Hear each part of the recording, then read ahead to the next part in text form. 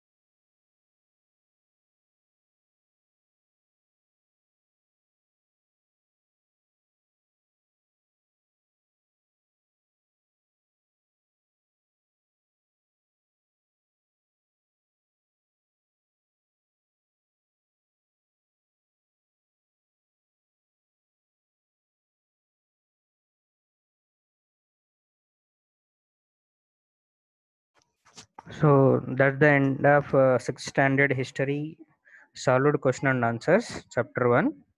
So hope you all like our video. Please subscribe to our channel and share it to your friends.